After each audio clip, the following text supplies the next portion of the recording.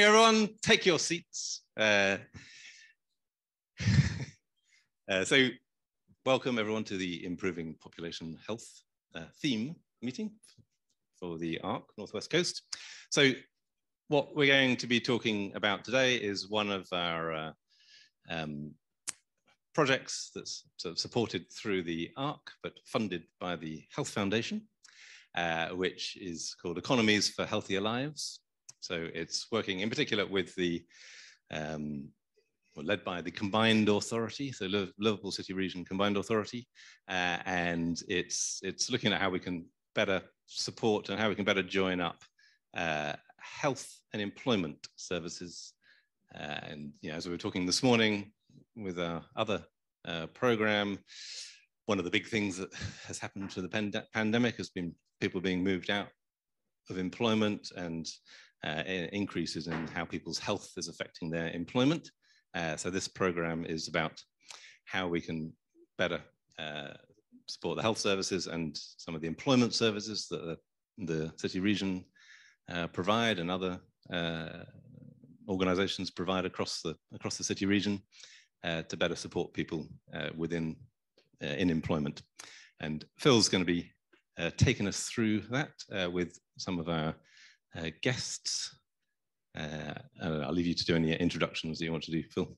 Yeah, cool. Is that working? I think so. Yeah. Yep. Yeah. Cool. Hi, uh, my name's Phil McHale. I'm a senior clinical lecturer in the Department of Public Health Policy and Systems at the University of Liverpool.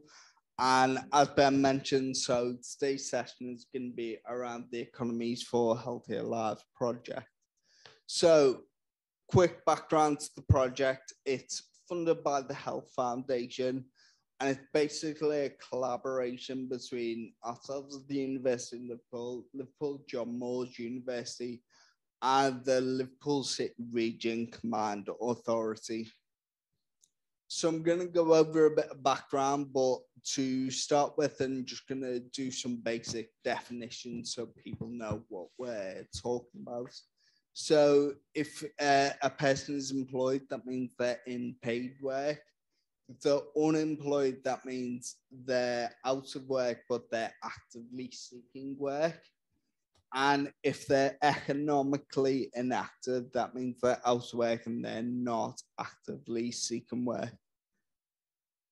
So, um, so we know employment affects health, and there is an awful lot of long-standing evidence that unemployment negatively affects both physical health and mental health and this evidence goes back decades and includes um, basically all parts of the world. So, why is this important though? So, if we look, um, I'm trying to do this from memory because I can't remember. Um, the Northwest is fourth in the country for the highest rate of unemployment. So we know unemployment negatively affects health, and we know unemployment is a significant problem in the Northwest. But it's not just unemployment that matters. Things like working conditions and working hours, particularly, can affect um, mental health and stress through the work life balance. And um, you can have issues with safety at work, which can lead to uh, workplace related injuries. And I mentioned there about job control because job control is actually a really important part of keeping people in work, particularly when they have long term health conditions. So we know employment affects health, but actually, health also affects employment. And this is really important because actually, over the next few decades, we're predicting that the number of long-term conditions amongst people with of working age is going to increase. And that's not just individual conditions, we're also going to see a big increase in multimorbidity. So people are going to have more complex needs that require support. and people with long-term conditions are more likely to be economically inactive. They're more likely to retire from the workforce earlier. So people with multiple sclerosis are have an average retirement age of 42, which is obviously much lower than the national retirement age. Um, they're more likely to have sickness absence, but importantly, they're actually also more likely to attend work when they're sick, so-called presenteeism, which basically means they're risking further consequences. The example I saw was about someone with asthma who has a chest infection, attends work and actually makes their chest worse and ends up requiring more time off work because of sickness. We done? There we go. So, health and employment have a cyclical relationship. It can be a virtuous cycle. Good health improves employment prospects, which in turn improves health. But it can also be a vicious cycle. So, poor health leads to reduced employment chances, which then leads to worse health and etc. etc. So, as a response to this, the Northern Health Science Alliance in 2018 did a piece of work looking at health and work in the UK and particularly focusing on the Northern Powerhouse, which I don't think is really still a thing. I think it's more the levelling up agenda now, if that's still going. Um, so what they found though was productivity is lower in the north of England than the south. Um, there is a big link between long-term health conditions and economic activity, which we already know from the evidence base. Um, importantly, though, increasing NHS budgets would lead to reduction in um, economic activity through support for people. Um, importantly, the short periods of sickness actually have worse employment consequences for people in the north than in the south. So not only are you more likely to have sickness leave if you're in the north than in the south, but actually once you get have a short period of sickness, the consequences for your long-term employment prospects are worse than in the south of England. Um, and essentially, the take-home point from the report was if we improve health in the north, that would substantially improve the economy in the north as well. So I'm going to focus now on Liverpool City region, which is where the EHL project is based. So Liverpool City region's selection of six local authorities, Liverpool, Sefton, St Helens, Wirral, Halton and Knowsley. Basically, Liverpool City region has one of the highest proportions in the country of people who are economically inactive, almost one in four. It has one of the lowest proportions of people who are employed, which is less than three quarters. Um, our edu- educational attainment levels lag behind both the regional and national averages, which suggests that there is a skills gap in the region as well. Um, we have 78% of employees in the private sector, which is lower than the national average. And our productivity is around 92% of the national rate. We also have worse health in the city region. So Liverpool city region is quite a deprived area. Um, and our measure of deprivation is based on seven domains. actually, when we look at the measures of de- the domains of deprivation, we see that in Liverpool City region, a lot of the deprivation has really been driven by health and disability deprivation. Um, and we also see that when we compare ourselves nationally. So in England, we're the third highest area for people who are economically inactive reporting long-term sickness as the reason for that. Nearly a third were economically inactive population. Um, and one in four working age people in LCR have limited health conditions. And we have a life expectancy in the region of two and a half years lower than the national average. So a third of the productivity gap is estimated to be due to ill health actually, if we worked on reducing this ill health, this health gap with the rest of England, it could lead to approximately 3.2 billion pounds extra for our economy. So this is where the Economies for Healthier Lives project steps in. So it's a 1.72 million program from um, from uh, the Health Foundation. Um, and basically, it's looking at how we can promote health and reduce health inequalities through economic development. It's for four programs across the UK and it's for three years in total. And it's a program that's been led by the statutory regional body with partnership with academic organizations. So we have four regions. There's the LCR one, which we're talking about today. There's also programs in Leeds, Leigh Park, and Glasgow City region.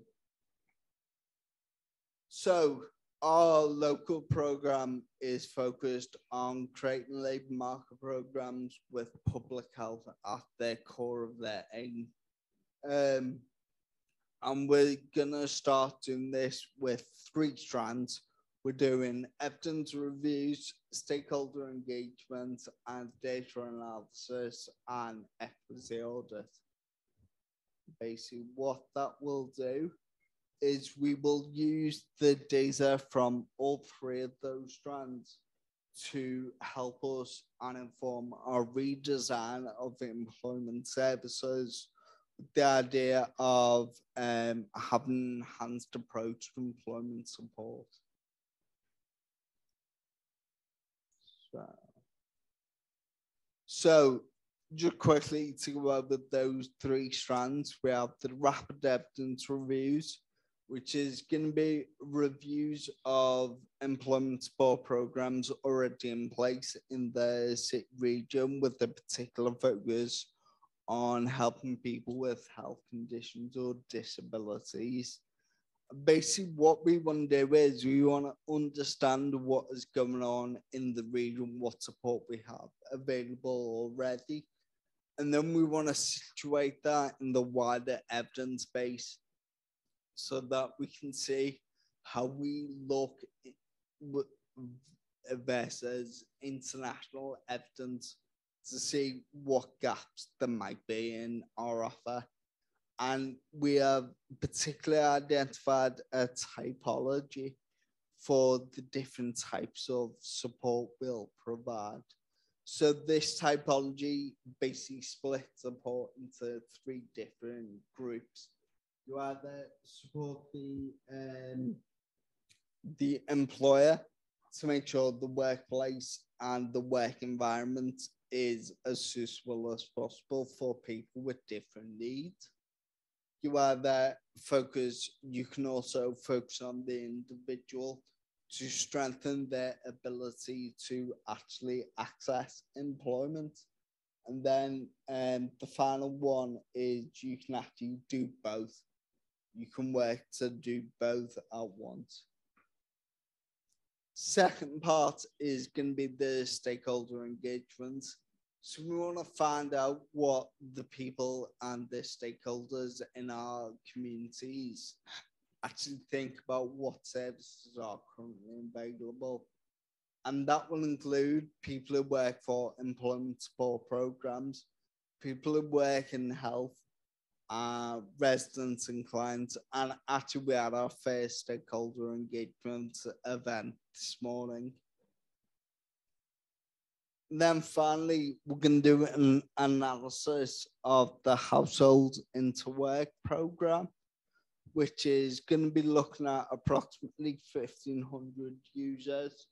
And we want to look at the dem demographic breakdown, but also the health conditions that we support in the program. We compare it to what we know about Liverpool City region to see the demographic groups who maybe aren't accessing the sport we think should be, and particularly as well of the health conditions that we would expect to be getting support given what we know about the region, but they aren't. And then basically what we'll do is we'll take the findings from those three strands and we'll find out what our unmet need is in the city region. So we'll look at what groups aren't accessing support, but also what types of support don't we provide for the region. And then finally, in the longer term, we will look to link up the data from health and employment to give us better understanding of the link between the two think that's me. There we go. Thanks, Phil. Um, sorry, I'm just a bit nervous because Phil did such a good job there, so I'm bound to wreck something now. Um, my name is Belinda Tyrrell, and I work at the University of Liverpool as a research associate.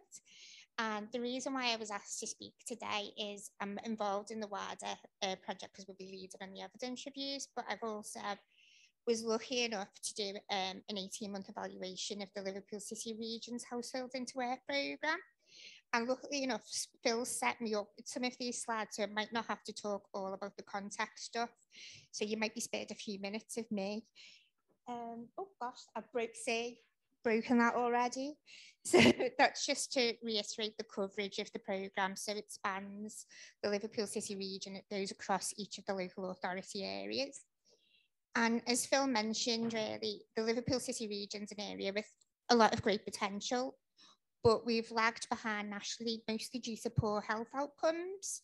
So although there's been investment in different types of provision over the years, back in 2017, the DWP launched a budget to support innovation in terms of how employment was delivered. And the Liverpool City Region Combined Authority thought, well, the data is telling us maybe it's time to do something different and try and address some of those multiple and long-standing barriers people have had to enter and sustain and work. So they took the learning from three different programs. So working well in Manchester Greater Authority, so that was the key worker approach there. The Troubled Families program, which is more of a household approach, so involving more than the individual in the program and they, I always get this one wrong, so bear with me, the Youth Employment Gateway. So that was a, a where there was a small budgetary allocation to support households.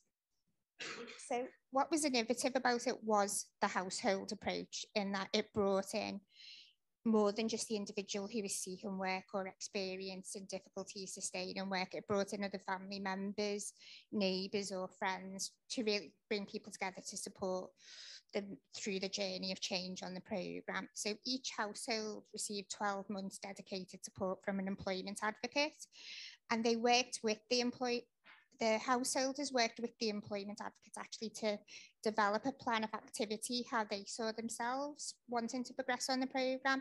So it wasn't as prescriptive as other employability programmes. And I should also say as well as part of our research, we didn't have a control group to compare a certain um, interactions or interventions against.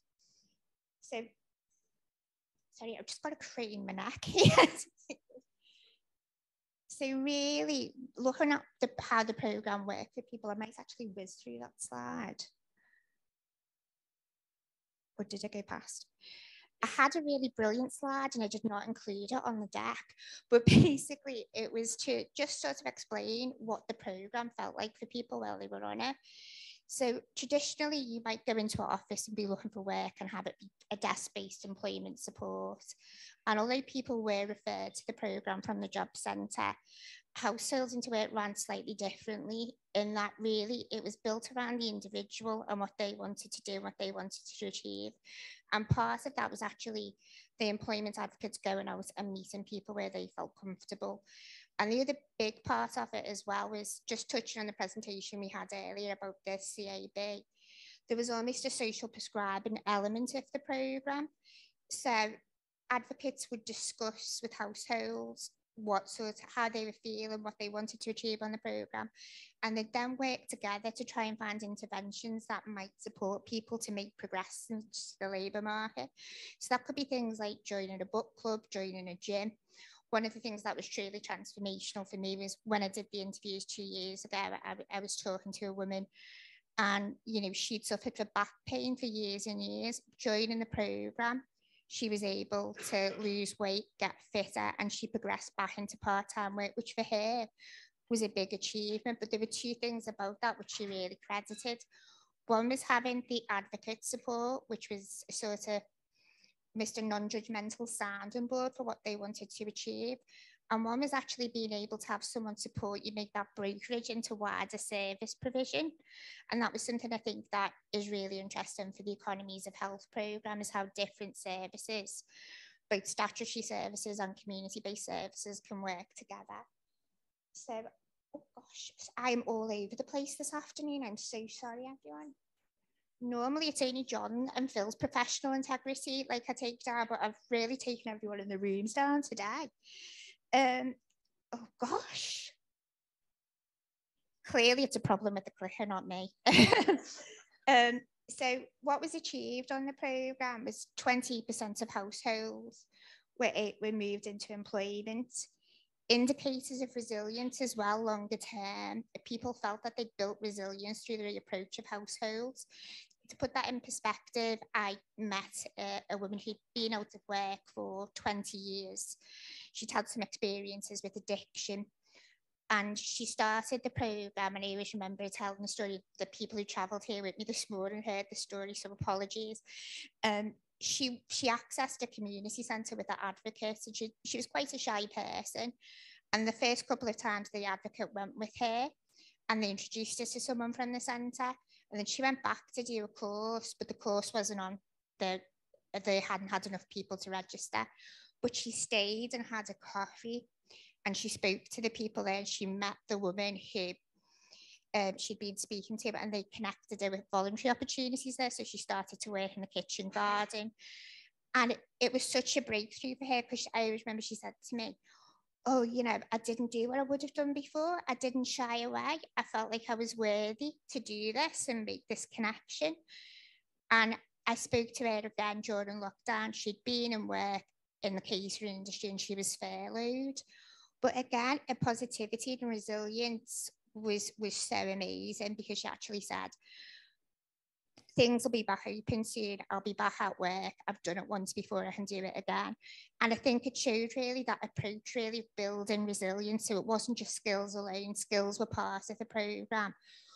But it was actually taking someone and introducing them to a wider network and maybe finding things out about themselves, like what they were good at and what they saw they wanted to do, rather than a prescriptive approach to it. So sorry, I went off piece there, but I hope that gave you a good flavour of it.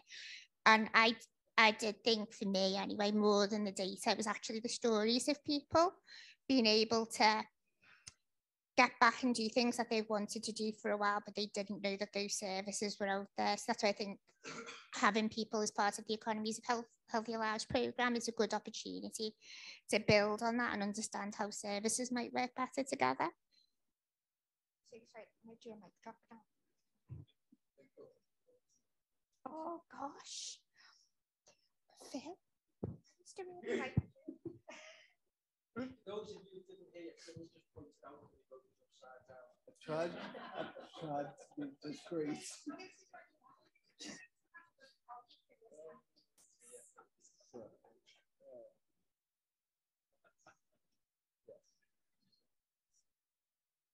Yes, that's fine. Thanks, Belinda. That was great. Um, so now we're gonna take uh, the rest of the session just to do uh, panel discussions. We have a wide range of people uh, sitting at the table here, and um, we're going to give the audience the opportunity to ask questions if they want. Um, I will start it off and then give people a chance to introduce the chat if they want to. Um, and so, and then they can just pass around, then the audience can get involved. So I think to start with, um, I think what are like the benefits, barriers, and like what is missing in terms of the support that is available, thinking about like households, but also different things. So.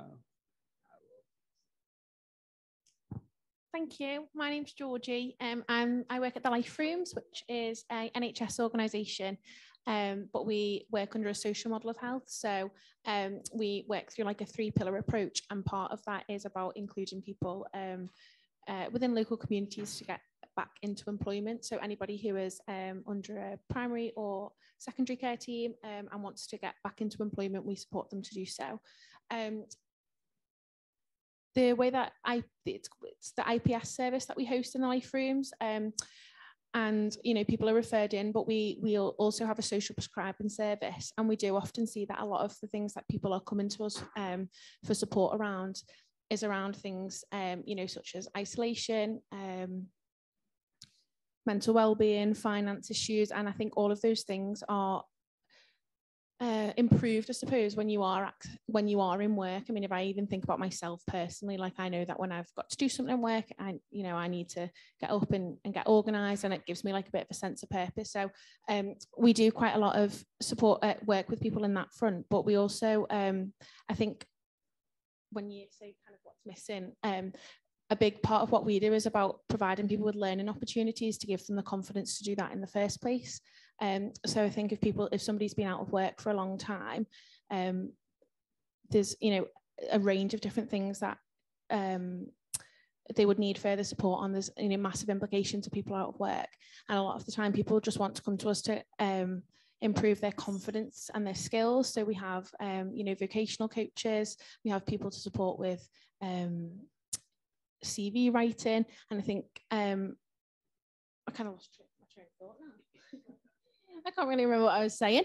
Um, yeah, basically we do all of these things in the life rooms. And I think for me, what I maybe I feel might be missing is that I wonder whether employees, um, whether we do enough engagement with employees to say, you know, this should be the norm. This should be, um, you know, people with either mental health conditions or disabilities. You don't need to make all these, you know, crazy adjustments. It should be kind of part of everybody's normal practice. Um, I wonder whether we do enough engagement with employers um, to make that kind of standard practice and business as usual.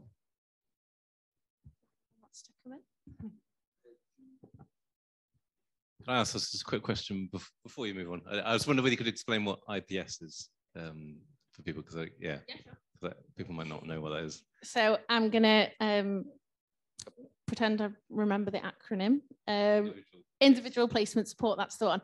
Um, so it's about people who have accessed um, primary or secondary care and who are under the support of maybe a community mental health team and are wanting to get back into employment. So um, we have employment specialists who will work with um, people who've expressed this um, to improve their um, employability skills and also to support them with applications for different roles and then they follow them through with that journey so once somebody is in employment once they've gone through that process they will work with them um, and do you know regular check-ins to make sure that their employment is going well to ensure that there's been the correct adaptations made um, and then keep linking back in with their clinical teams to ensure that that person is also staying well um, have I missed anything there? I can't think. No, no, sounds good. That's what we sort of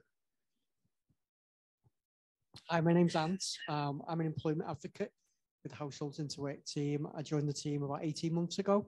Previously, I worked for social care for 16 years. Um, we used Households Into Work for, for referrals for clients we work with. Um, found the program was really good, and, and when had the opportunity, I moved over. Um, as an employment advocate, it, it, it's not the greatest job title that describes what we do. We're more like a life coach. Um, that might be a little bit controversial, but um, we're quite adaptable and, and on the ground, we build relationships with people and help them work through their barriers. And we go on a journey together for up to 12 months. And um, we find that a lot of clients naturally um, we get outcomes for, whether that's volunteering, whether that's paid employment, um, or just generally um, there's more stability in their lives. Um, we work with with clients with with multiple barriers, um, and yeah, we're just um, it's pretty much us in a shell.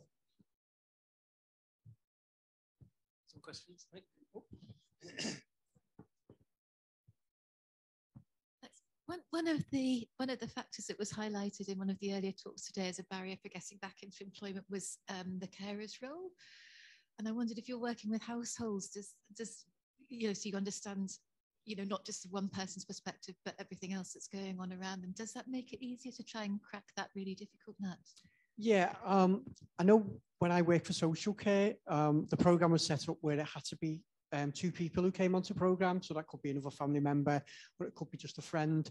Um, I then came onto program and that changed. So we could, we could work with individuals. Jordan and Andrea, they, they're currently on program with myself. Initially, Jordan was referred by the health centre um, for some support around his mental health, anxiety, quite isolated. Um, following me meeting Jordan, going through registration and then building a bit of a relationship, I was having lots of chats with Andrea and I just felt it was appropriate for her to also come on board and be registered. Andrea is, is Jordan's carer. Um, and having that combination of the two, yeah, we, we've, we've made some good progress. And we've done things like um, we, we run a garden group in Halton. So we're just sort of like growing that at the minute. Um, and we do things like um, we're, we're starting a fishing group as well. With Jordan and myself, we go for walks and with Andrea and, you know, general catch ups and just sort of working through through the barriers. Yeah. Just if I can just ask a quick question, uh, sort of related to that. I guess uh, one of the things we're interested in is how we can, well, better link up different services. You know, whether it's in social care or you know, health or, or housing, and I guess that's you know, whether whether there's hopefully benefits from that. Um, I was thinking around, around caring, you know, other support that, that might be available for carers and things. You know, how do you work with those, you know, like the, the council's social care kind of support for carers and stuff like that? Does that does that work well? Are there other ways that it could be done better? Um, I know, Andrew, you're open to the carers centre, aren't you? Um, so Andrew was already sort of on board with them, and I find that working with other agencies, it's about building a bit of a relationship, um, and, and you know, making them regular referrals and, and the face-to-face stuff on the ground and, and yeah, working in partnership to sort of make improvements. Um, in regards to care inside, what do you think? Is there anything that is missing from your perspective?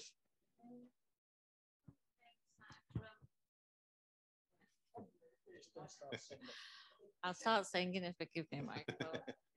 um, bear with me, I'm a bit nervous, but um, forgot what I was going to say then. From the carers side. Um, from the carers side, I feel as though there should be more community groups uh, where people from the community get together and just, you know, share experiences and just generally, the carers centre is brilliant, don't get me wrong, but there needs to be something just a bit more local for people to attend and just. Um, you mean like the community centre and things like that? yeah, yeah, it's pretty easy access. Yeah. Yeah. Yeah. on sort of get getting you guys out, and it was something that you really wanted Jordan to link back into Yeah, because that was previously open. Yeah, Um, so that's been a real positive. and I know it's early days; it's a bit of a mess at the minute, but yeah. I suppose that's part of the journey, isn't it? And But it's looking forward to next year when the weather starts to get better and, you know, we're planning what we're going to do. And, you know, it's all just, what do you think, George? No? I agree. I think where where where where you were at when you first came on program, uh, we we'd had sort of the the effects of COVID and stuff like that weren't very kind, and um, I think we, we we went on a bit of a journey, didn't we? Literally, we went for walks and stuff like that, and you guys were quite hesitant, weren't you, when Tess at the health centre first mentioned the referral Yeah. to our team? It was a little bit like, well, we've done it, we've done it before with everyone, um, and then see me coming out, meeting face to face, and sort of taking baby steps to get Jordan in, a, in, a, in a good place to be able to go through registration and get him on program. And then I think we've flown since then. I Yeah, think, definitely. I mean, you deserve a medal oh God. with the, the amount of talks we've had. you, you really do. Um, and the relationship with Jordan as well. Yeah. I mean, it's just grown over the last six six months or so. yeah, yeah, roughly, yeah. You know, and you know, I think that sometimes certain things, what, what people offer on, on the face of it, on the tin, um, I think just getting down to the nitty gritty and getting to know people, being being a good listener and and, and building a relationship with people is the key for me. Um, I know, like I say, I worked for social care for 16 years, um, so I had lots of experience working with people, and I think this program is is good because you can be really flexible. We're, we're, like a jack of all trades um, and, and, and there's something new every day. That's what I love about the job. It's very fast paced. Um, we work with up to like 30 people at a time. Um, we're linking with partners in, in the community to, you know, get, get, get regular referrals, but it is very fast paced. And, and that's one thing I really like about, about the program. Yeah, I think it was a couple of really important points there. Yeah, the the the kind of relationship that you know, someone like yourself can build up with the with the people you're working with uh, is what is is is probably one of the most important things of the whole kind of uh, intervention, and, and quite often that gets kind of messed up by by the constraints that organizations put or the kind of rules that you have to follow and, and in some ways having things you know less uh, um, sort of regimented and, and less uh, um, less less rules around that uh, actually helps with that kind of relationship. Yeah. I think time is the big the big thing, having that time to be able to spend yeah, with people yeah. and, and, and, and work through things. Yeah, and opportunities then for the people you're working with, like, uh, Andrew and Jordan, to be able to make connections with others uh, seems to be really important. We just had a few questions at the back. Do you want to? Yeah. Okay. um, so I'll go over there. Nevin, I think you were waiting patiently for so much. Uh, it sounds great with the households you, you, you're working with. How do you know which households to work with? Is my question. Um, we we have uh, pre-registration, so we go through whether people are eligible um, and suitable for program. Obviously, unemployed and they have um, multiple barriers. So we, we do get lots of referrals where it might just be a housing need. So Yeah. we maybe pass that on just to, to a housing service. Um, we get lots of referrals from places like the job centre. We link in with lots of partners in, in our in our area. Um, and yet there's, there's there's a registration process where we we just gather sort of like information on the client to see whether they're suitable for program. Yeah.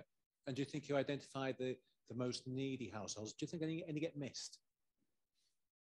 Um, definitely, yeah. I think there's households that are, that that that are quite um, isolated and that they they would never have the confidence to, to to take that first step to agree to a referral. Yeah. Um, we we sit in the job centre uh, maybe half a day a week and um, just ad hoc when when clients come in. Uh, a way coach might say, "Oh, oh, Ant's over there. You know, do you want to have a chat about what's going on in your life?" And and, and sometimes that can just kickstart pe- people just having that general chat and you know just them sharing what's going on and then sort of making a bit of a plan then to to you know work through registration, get them on board, And then once you build a bit of a trust, a bit of a relationship, it's about them working through things together. Sometimes it might be about linking into um, more, more specific agencies within our area, but we would always support to do that as we go on the journey. But I find that a lot of the time it's working on the ground with people and having a good relationship is the best way to move forward.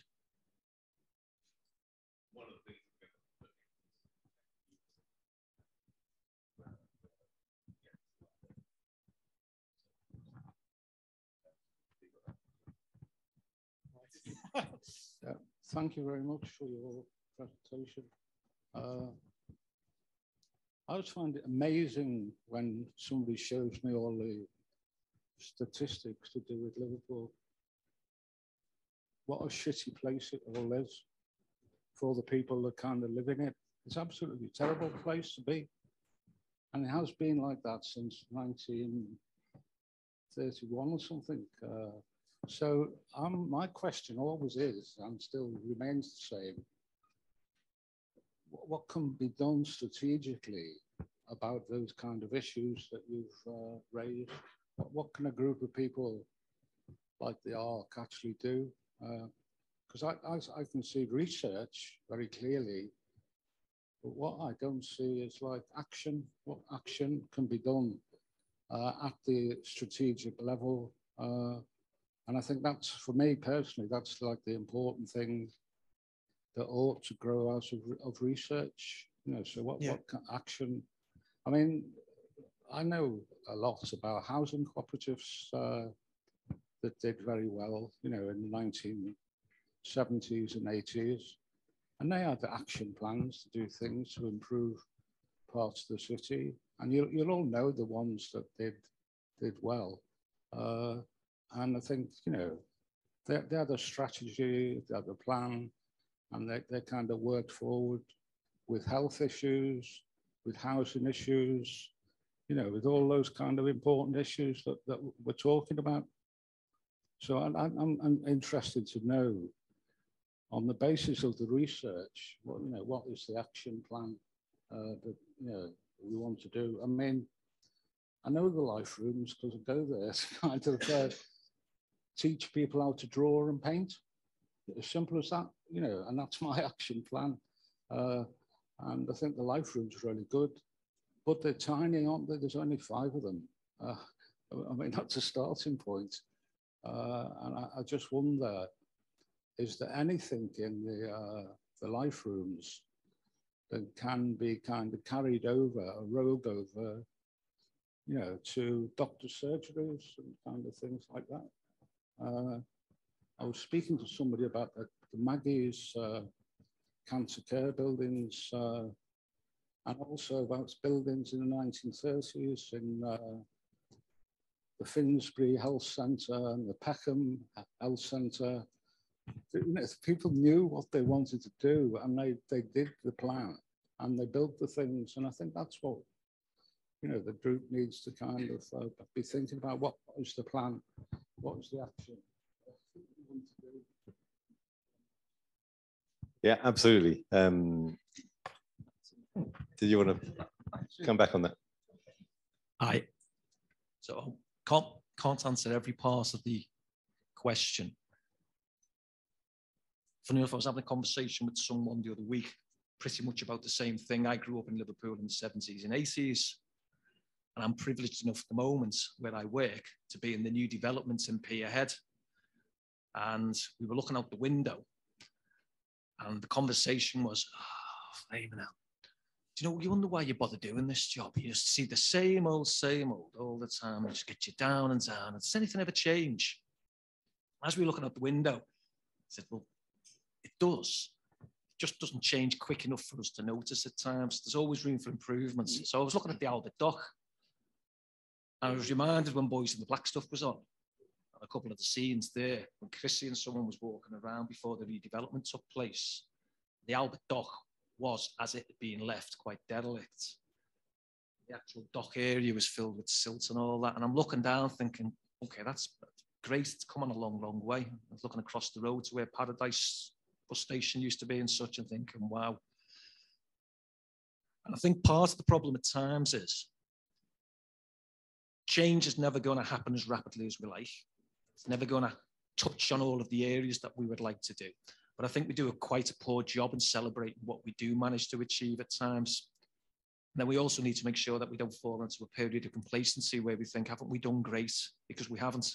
Because the next generation needs to benefit from it, and the next generation, the next generation. My particular role leading on economies for healthy lives, I feel quite privileged that I'm able to go across all six of the local authority areas within the city region and have conversations with people which are quite open and honest about what we need to do better. But I am constantly surprised by the number of community voluntary sector organisations that exist grassroots level. I don't know how they exist because they don't always live off much funding, but they manage to do some fantastic services. And what I'm trying to do, as we are with Economy for Healthy Lives now, is to be able to raise the profile of those services and organisations and say, these do a great job, but they don't get the they don't get the visibility that they need. Furthermore, some of the things that sometimes go on in one local authority area aren't necessarily replicated in another local authority area because there isn't the facility to have that dialogue and open communication where you can share ideas. That's what we're looking to do there. But it does go back to the point where we need to be challenged and questioned constantly. It's no use coming back in here and saying we've done a great job, look at what we've done. It's we've done a great job, look at what we've done at the moment, but we've got more to do. And as the members of the HL team have said there, we need to be very much led by the, the residents themselves, and that's where our focus is. We want to know from residents what the elephants in the room is, and we want to hear warts and all. And quite often, it may be a case of saying, there's nothing we can do about that at this moment in time, but please be aware of that we are aware of it. However, what we are hoping to do is do these other things, and that I hope in itself will be enough sometimes just to assure people that there is progress. Um, but yet certainly nothing wrong with being kicked up the backside and saying, hey, don't be sitting on your laurels. There is more to be done. Thanks, John. Yeah, and I think yeah, there are some brilliant examples of services and, and the kind of support we've been hearing about, uh, and we're hearing about earlier today. You know, some of it linked to GP practices, and and yeah, a lot of there is some really good uh, work going on, and, and a lot of this is about trying to sort of expand that. Um, but we also, you know, the, the it's the economy, the, the, economy kind of underlying a lot of the, the, the kind of problems that, that we're talking about. And, you know, we also need to look at, uh, you know, there has been some great economic developments in, in Liverpool and other places. One could question, you know, whether people have necessarily benefited from them as, as much as they could have done. Uh, and uh, part of this program is trying to think, you know, working with the combined authority, which does have quite a lot of responsibility for stewardship of the overall economy of the region, how we can sort of help um, yeah, ensure that the, those sort of economic programs and economic development uh, does kind of boost the parts of the economy that benefit people the most. Um, other work we've been doing with Preston uh, City Council uh, has been looking at their kind of economic model where they've really tried to focus specifically on building the parts of the economy, so some of the social enterprises, for example, uh, that are likely to have those benefits. And that seems to have had a quite a good impact. Um, so, uh, Linda, and then could I, sorry, could I just ask and a quick question? Because um, if I don't, I'll feel really bad about this the rest of the evening. Um, you spoke really about the importance of the relationships that you've built up. And I, I knew that when I was going out with people, how important that was really just to, I suppose, support people through those processes and navigate all of those different processes. And although we can say there's lots of provision out there, it's not always easy to access or know about. And I think from the HL perspective, one of the things we're interested in really is how do you get services to work together? So it's less about the service outcomes and more about the outcomes for individuals. Like how is in your role on the ground, how do you get sort of other partners and other services involved? How do you find out about them? How do you keep those relationships going? Because I can imagine that's quite difficult to do. Yeah, I suppose it's um, every day you learn something new, you're linking with someone new. And I, I always find that just building a, a relationship, you know, on, just a bit of a personal level and having that sort of face to face. I always find I had lots of links from my social care days. So when I came onto the team, I was able to link the team into a lot of a lot of the services that I knew about. But whenever there's someone new, I always find that going in and doing a face to face or tagging onto a team meeting um, and doing it that way and just just really keeping things going and, and and thanking people for you know when they take a referral and keeping people updated and, and, and yeah just just really keeping things going on the ground level and yeah just sorry, just to add on top of what Anthony says, because he is taking he is taking himself for granted. I think one of the things employment advocates tend to have to do as well is make sure that they are constantly visible. They don't sit in an office off somewhere. They are out in the communities. They meet with individuals where it's convenient for the individual, not for them. Coffee shops, libraries, parks. But also as they're tested on their own reputations. So if Anthony does a lousy service, that'll soon get out and people won't bother using them and referring to. So it's also testament to the fact that the the nature of Anthony's relationship with the other organisations, I would hope, reflects the fact that he is taken seriously incredible by them. Thank you. Uh, thanks, Ben. Thanks, everybody. And thanks for two great talks, really interesting. And thanks to the panel for being so grounded. Um, I guess my comment really is about the, the equity, um, the, the look at the, the uh, what do you call it, healthy, econ no, economies for health economies for healthy lives. So um, when I was doing uh, a fair bit of work around well-being and community well-being, uh, I was working very closely with somebody in um, in uh, in Norwich who was looking at well-being at work, so workplace well-being, and pretty much all of his systematic reviews showed that work is good for people's well-being, right? But it also showed that poor quality work is not good for people's well-being. And I wondered the extent to which that was being taken into account in the work that you're doing. So we know that there's lots of precarious work in the Liverpool City region. And we know there's zero-hour contracts that are unlikely to go away. So I wondered how much of that sort of input will be will be will be taken forward. My pen. Uh, yeah. So very fortunate in the position that I'm in, but working for the combined authority, we have a colleague of mine who's recently been developing what's called the Fair Employment Charter. It's for employers based within Liverpool City region, encouraging them to sign up to achieve accreditation. But they can only sign up and achieve accreditation if they can demonstrate that they are supporters of fair employment practices. They must pay the national living wage, the national minimum wage, um, they must be committed to the development of the workforce. They must have processes in place which demonstrate that they can support individuals in the workplace when they are presenting as having health conditions and a whole host of other measures. Does that mean that when you sign up, you are the best employer in the world? No.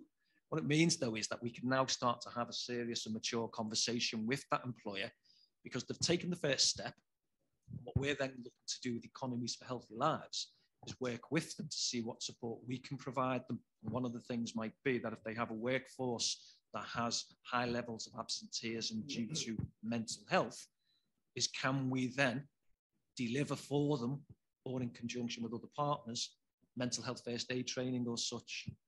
One of the things that's popped up quite recently is the menopause. And there are a lot of organizations now looking to develop policies in the workplace that can help handle menopause and deal with it. Now, I must admit, prior to coming into this role, didn't even cross my mind. My wife goes through the menopause, but I didn't even think about it. But since working on this program and speaking to other employers, there are those type of enlightenments now which are showing that there are steps being taken place. And our job now is to say, well, how can we facilitate that? And if you're doing it and you're doing it well, how can we make sure that it's replicated elsewhere? So there are small steps, but there certainly is the ambition to make sure that we don't stop what we're doing because if employers can't practice, if employers don't come along with us for this particular journey, we're wasting our time here because when we want to get people into the workplace, we want to make sure that the employer treats them fairly and that the individual enjoys work as much as they can. Sorry, um, when we did households, what that was one of the things actually that came through strongly was it was about good quality work. And you know good quality employment for people.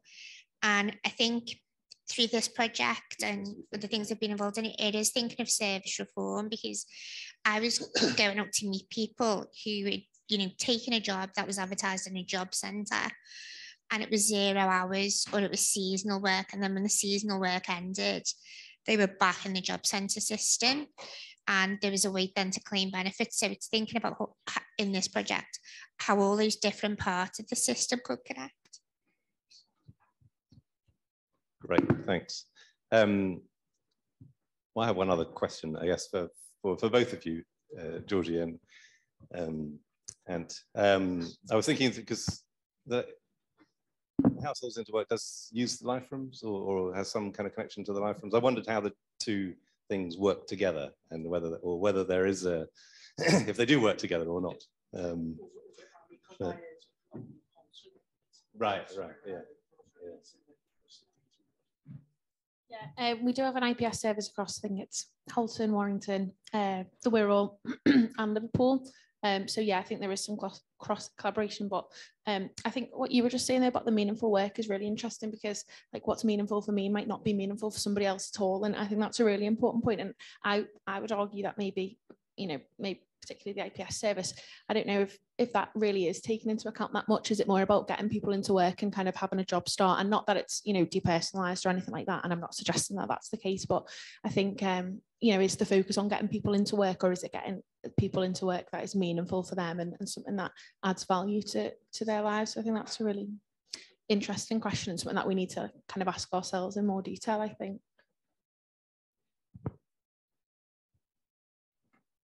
Well, thank you for a really great conversation. Um, we've unfortunately run out of time now, so I'm to say thank you to everyone for paying so much attention and some really good questions.